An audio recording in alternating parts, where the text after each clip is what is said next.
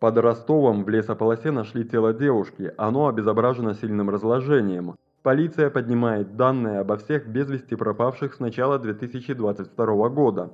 Источники в силовых структурах рассказали, что нашли тело девушки 7 сентября в лесополосе примерно в 15 метрах от дороги Аксай-Альгинская. По состоянию тела внешность описать невозможно. Пока известен только примерный возраст – 20-30 лет и рост около 160 сантиметров. Причины смерти пока также неизвестны. Из одежды на теле сохранились только черные джинсы, красное нижнее белье и светлые кроссовки на высокой подошве. Давность смерти оценивается примерно в 14 дней, но силовики поднимают данные обо всех без вести пропавших женщинах этой возрастной группы с начала 2022 года. Один из собеседников добавил, что отрабатываться будет и возможная связь с уже зарегистрированными преступлениями. Прежде всего это убийство Татьяны Штанько, ее тело также нашли в лесополосе.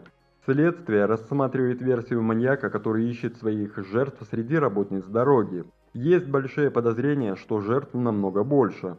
Уже сформирована специальная следственная группа, специализирующаяся на преступлениях такого рода. Она в срочном порядке выехала в Ростов из Москвы. Также отслеживаются камеры видеонаблюдения, установленные на дороге. Возможно, преступник передвигается на автомобиле по всей стране. Среди работниц дороги распространили информацию о возможной опасности.